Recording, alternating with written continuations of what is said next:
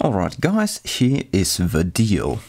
This is my Canon EOS 1000D, which I have owned since 2009.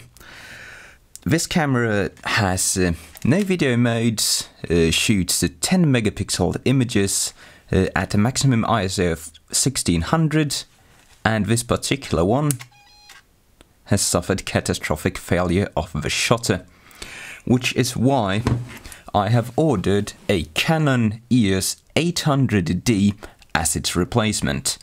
The 800D is a 1000 euro camera including the kit lens, which is a rather hefty expenditure for this little YouTube channel.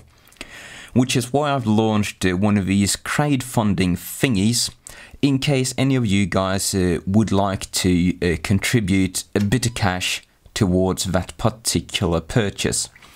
So the reasons for uh, getting this camera uh, are that I do believe it will allow me to shoot some rather better footage for a few reasons. It does have proper uh, video modes uh, pretty much on par with my current blog camera, while also offering fully manual controls for everything since it's a DSLR and interchangeable lenses if I ever happen to need that.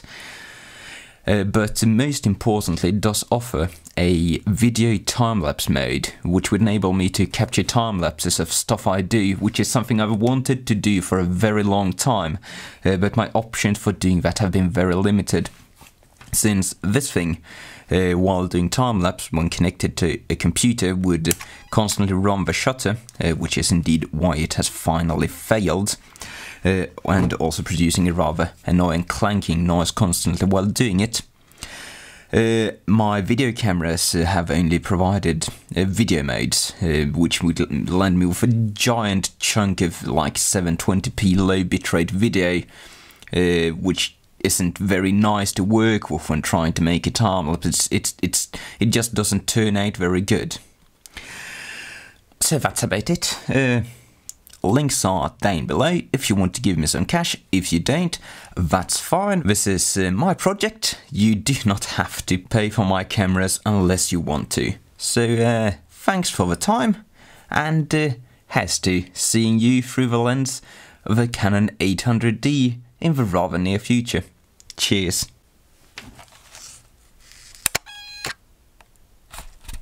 That's not the right sound.